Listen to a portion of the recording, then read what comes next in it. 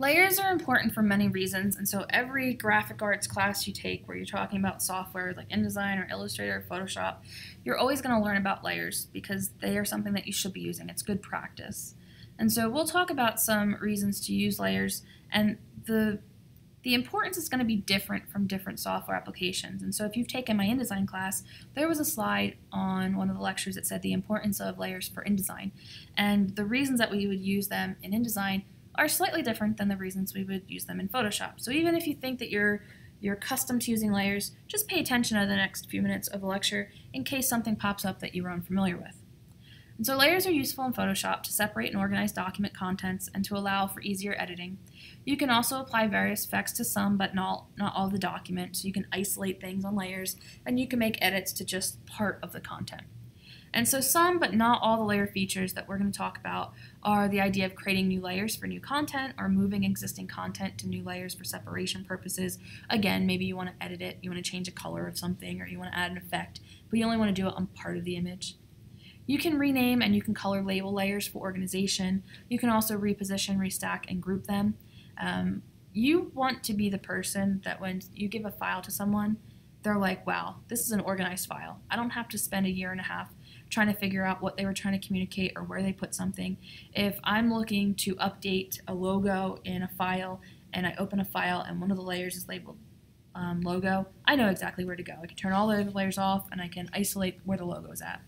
Um, when you don't label your layers and you don't group them and you don't organize them so that it's easier for anybody to understand, not just you opening up your own file, then you're just causing more headache down the line for someone who may potentially have to work with your same files. Um, you can also delete unwanted layers if you create too many. Um, you can get rid of them. You can merge multiple layers into one layer, so maybe you isolate things for editing and then you decide that you need to merge them back together for some other task. You can also do that by grouping them. You can show and hide a layer, and so if you're not working on a particular part of a project at, at, at a specific time, you can basically turn it off so you don't see it, so you don't accidentally edit um, an area that you're not meaning to edit. You can also lock and unlock layers for the same idea. If you lock something, you can't accidentally edit over the top of it. You can also do some fun stuff like change the layer opacity or the blending modes so you can affect how layers interact with one another. And then you can apply layer effects to layers, which can be kind of a quick way to kind of add a pop of something to your project that makes it stand out. And so the first thing that we want to talk about is creating a new layer so that you can create new content or you can add content to that layer. And there are lots of ways to do everything in Photoshop. So I'm going to show you maybe one or two ways. Um, if you know a different way, then obviously use a different way. I try to show you what I feel is the easiest, most straightforward way. Um, but if you're more comfortable using menus at this point in time where I'm going to use buttons on the layers panel, by all means, if you know how to use a layer, just make a new layer. And so the first thing I want to talk about is anytime you see the little piece of paper with the corner turned up on a panel, it means new. And so if it's on the layers panel, you're going to create a new layer. If you're on the color swatches panel, you're going to create a new color swatch. If you're on the styles panel, you're going to create a new style. And so for our purposes, if I select the new icon, I'm going to get a new layer. Some key things to know about this are that it is going to be new. It's going to appear directly above the layer that you currently have selected. So I have the background layer selected, and so layer 1 will go above it. If I was to create a layer 2 and I select the background layer and select new layer, it would go above the background layer and so it would be below layer 1 and above the background. If I left it the way it is now where layer 1 is selected and I select create a new layer, layer 2 would be above layer 1. It's not the end of the world, just make the layers and you can always drag and drop them into place. But if you want to make sure that they are created where you want them, when you want them created, make sure that you're selecting the right layer because the new layer will always go above whatever layer is selected. Um, when you create new layers, you don't have to create a blank layer. You can create layers from existing content. And so maybe I want to do some sort of manipulation on the ice cream cone in this image. And so I want to isolate the ice cream cone from the background so that I'm not making the edits on all of all of the document. Maybe I want the background image to be desaturated a little bit and I'm going to apply a filter to the ice cream so it looks cool and funky and, and unique. And so in order to do that, I could create a new layer and I could move the content to that layer and then I could just make the changes to that one layer. The steps that you would do, there's actually two things that you could try. Well, there's probably more than two things, but the two ways that we're going to talk about when I jump over to Photoshop are you can create a new layer and then you can make a selection from the content that you wish to move. In my case, I made a selection of the ice cream cone. You can choose Edit Copy. So I have the background layer selected and I choose Edit Copy. Then you can click the new layer and choose Edit Paste and it will paste a copy of the artwork onto the new layer. You could also choose Edit Cut and then you could choose edit paste onto the new layer. When you do that, you'd end up with a hole in the image.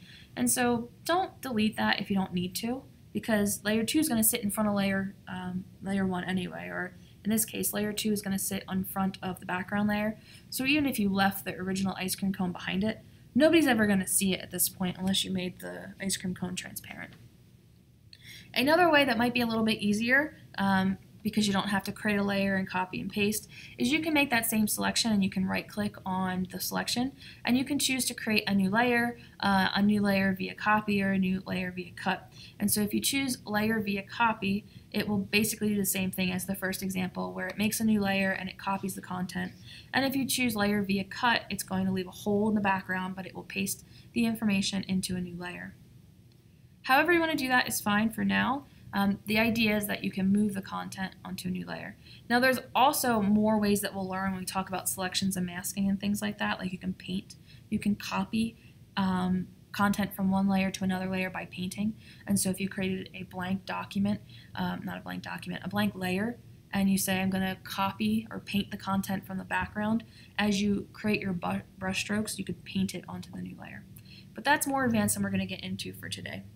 And so let's jump to Photoshop and let's practice these three things that we just talked about.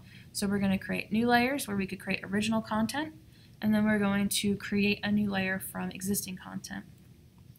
And so I've got that image open, and I've converted my layer to background um, layer to layer zero, but I don't, that's not the practice that I like to do. And so I'm going to undo that. I did Command Z to undo, or you can do Edit Undo. Or you could just quit out of the image and hit don't save and then reopen it if you want to. And so I'm going to duplicate so I have two layers. And so I don't want to work on the background layer. I'm going to save that as backup. And then I'm going to work from the background copy. And so when you create a new layer for editing, let's say that you wanted to add some text or um, that's a bad example because if you add text it automatically creates its own layer. But maybe you wanted to, to paint something in the image or something. You could create a new layer by selecting the new layer icon. It would automatically add it. It added it above the background copy because that's the layer I had selected. And now if I wanted to do something like, let me grab a paintbrush here. Let's grab color. Maybe you wanted to paint some sort of funky texture that eventually is going to be behind our ice cream. You could paint that on its own layer and you could reposition it by dragging and dropping it. I'm going to leave it up the top for now, but it's in the way, so I'm going to hit the little eyeball and turn it off. You could also say, okay, well, I want to have, I want to have the background with the sky, and then I want my funky pink texture to be behind the ice cream cone, and then I want the ice cream cone to sit in front of it. If that's the case, then you might want to use that second option we talked about where you're going to make a layer from selected content. And so I'm still going to turn the eyeball off on the layer, but now I'm going to make a selection. And so I'm going to grab my lasso tool and I'm going to make a rough selection of this ice cream cone. You want to probably be a little bit more careful than I'm being, but I'm still not going to worry about the outside. Um, for the purpose of this demo, I'm not going to worry about that. But when we talk about selections and masking, I'll show you how to make a rough selection and then refine it so you don't have to get in really close and, and go all the way around the edge of a selection. That's just too time consuming for me. And so now if I wanted to isolate the ice cream cone on its own layer, I could create a new layer, right? I could copy, edit copy or command C or control C. Oops, make sure that you're on the layer you want to copy. So I was on layer 2, which is blank, so I got a prompt saying that I can't copy if there's nothing there. And so I'm copying from the background layer, so that must be selected. And now I can choose Edit Copy, or you could choose Cut. So if you choose Cut, it would disappear. I wouldn't recommend that, so Edit Copy. Then you can select layer 2, and when you choose Edit Paste, the content will be moved to that page. Now, it's still there. If I turn the eyeball on and off, you can see that the original ice cream cone is still on the background layer. But since this one sits in front of it, now we could manipulate that separately. Okay, let's undo that. Edit step backward or edit undo. Um, what I think is the easier way is to have the layer selected that has the content, make your selection, and then if you right click, you can choose to create a new layer via copy, and it will automatically create that new layer.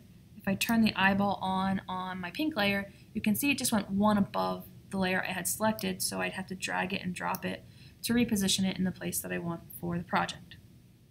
Okay, I'm going to move on to the lecture. Keep this, don't delete this, because we're going to use the same file throughout the lecture.